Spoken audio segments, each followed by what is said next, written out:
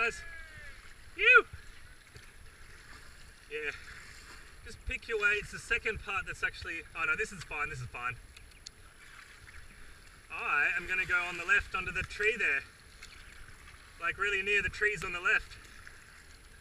Might be bad though. Oh no, it's a. Ah, thing is, this is small. This is small. Small fry. Small fry.